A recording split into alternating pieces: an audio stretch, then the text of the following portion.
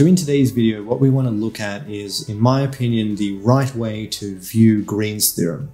So Green's theorem is this relation on line integrals that we learn about in any kindergarten vector calculus course. It's very confusing for students. It's not clear at all why there's these minus signs, why you can express a line integral over a curve in terms of a double integral over the region it bounds. All of these theorems like Stokes theorem, divergence theorem, all this stuff, it's just a whole bunch of ad hoc nonsense that you just walk away at the end without having any idea of what's going on. To anyone who has any knowledge of what's referred to as de Rham cohomology, a vector calculus course is just one, one or two facts repeated over and over again. The purpose of this video is to illustrate, or at least give you some idea of this higher perspective.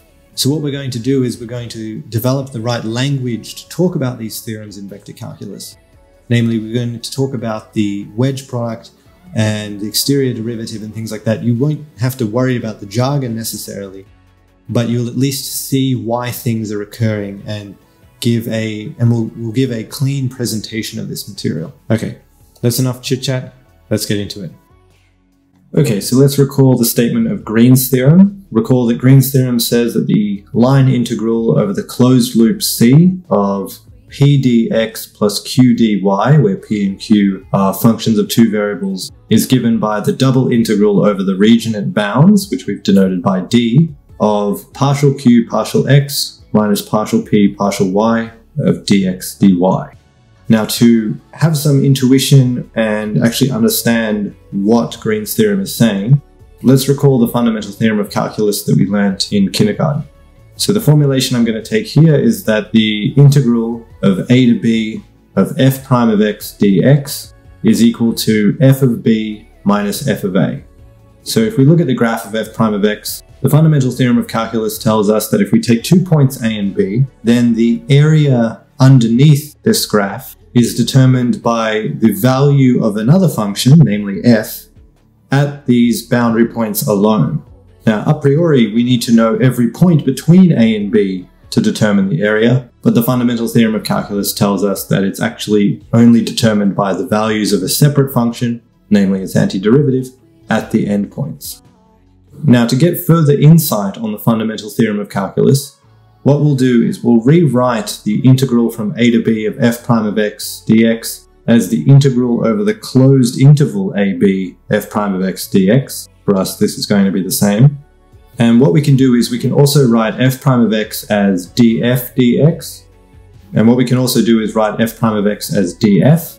And we can also write ab as the boundary of the closed interval ab. So to denote the boundary of a set, we use this partial symbol. So the set containing only the elements ab is denoted by partial of the closed interval ab. So now what the fundamental theorem of calculus says is that the integral over the closed interval AB of df dx is equal to the integral over the boundary of the closed interval of AB of f dx. Now just to make this subsequent remark more transparent, what we can do is it can actually replace df with partial f. Since we're only dealing in the one variable situation, this is all equivalent. And so we've written the fundamental theorem of calculus as the integral over the closed interval AB of partial f dx is equal to partial of the closed set AB, in other words, the boundary of the closed interval AB of f dx. From this way that we've written the fundamental theorem of calculus, it's clear that integrals are not necessarily the opposite of derivatives. What's happening is that the opposite of the derivative is actually the boundary of the region of integration. So the way in which this discussion that we've had so far is formalized is through what's referred to as de Rham cohomology. This is a subject within differential geometry that is covered within any standard text on Riemannian geometry or differential geometry, albeit it's quite an advanced concept, uh, subject to typically a graduate course. The this can be found, for example, in Jost's Riemannian Geometry and Geometric Analysis, or my favorite book on the subject, which is uh, Peter Petersen's Riemannian Geometry, the second edition. These are excellent books which I would highly recommend. I initially learned Riemannian geometry from Jost's book under Ben Andrews, and then as a graduate student, I worked through and continue to work through uh, Peter Petersen's Riemannian geometry book. To continue this extension of the fundamental theorem of calculus in a hope to get some insight on Green's theorem, what we'll now do is ask the question of how can we formulate area, the notion of area, this abstract idea, into an operation that we can perform on vectors or something or some type of object we're familiar with in order to get a language that's actually fruitful. So we want to develop a language on vectors or on some type of objects that furnish an understanding of what area is. So let's restrict our consideration to vectors. So let's consider the vector v, which is the vector 1, 2, and the vector u, which is given by 2, 1. What we can of course do is translate v to the endpoint of u and u to the endpoint of v and form this parallelogram.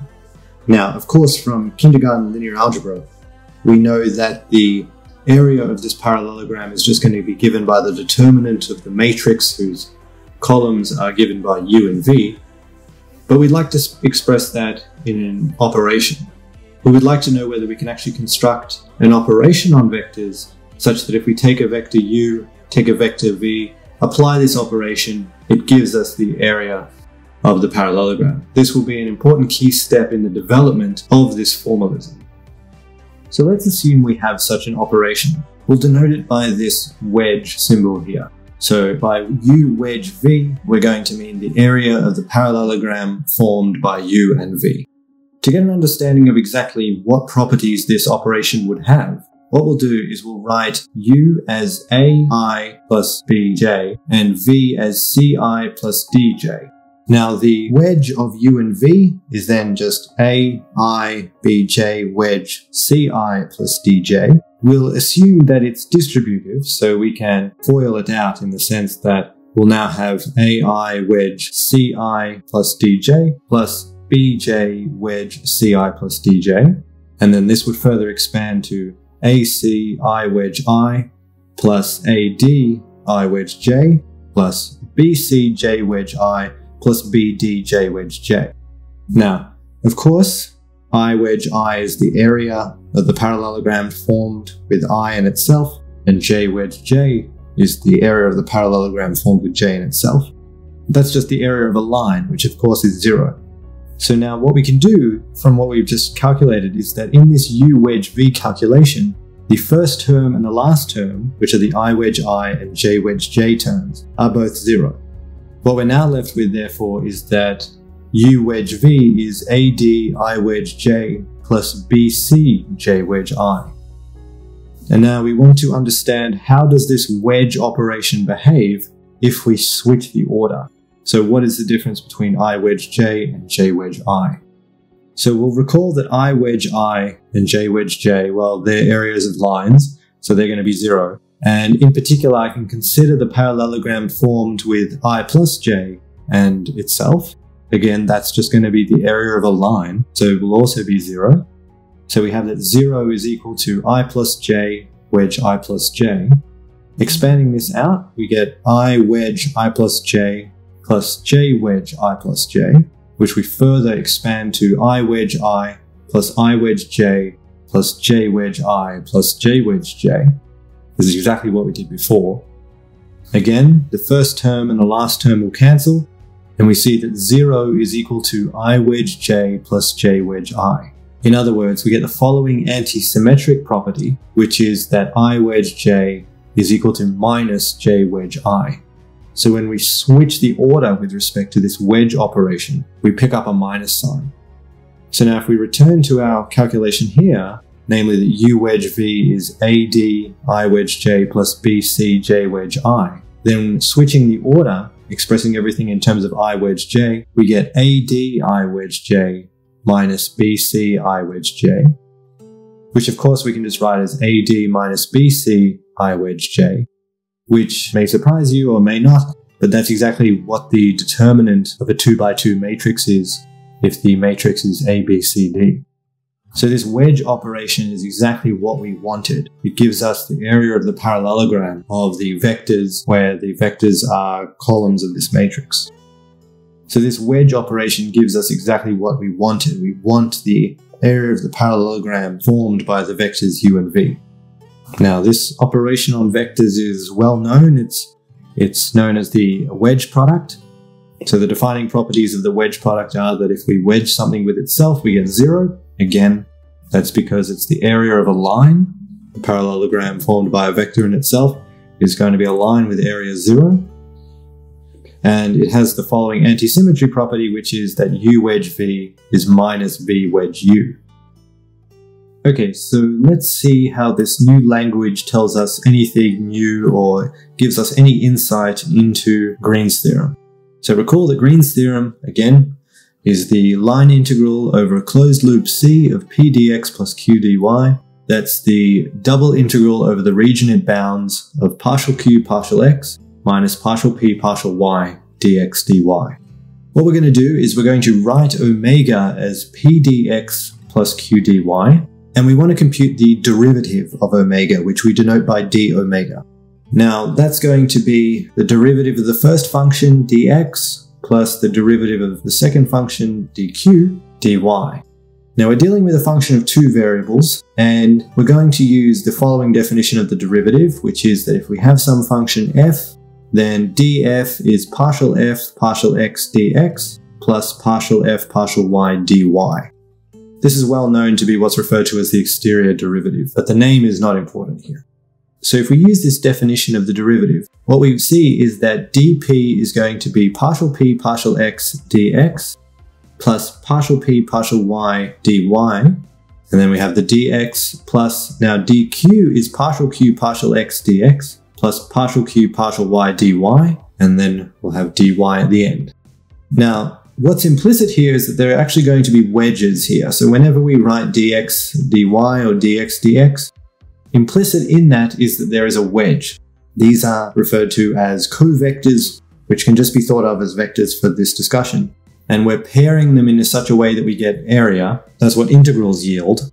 So what we have is partial p partial x dx wedge dx plus partial p partial y dy wedge dx, then similarly partial q partial x dx wedge dy, plus partial q partial y dy wedge dy.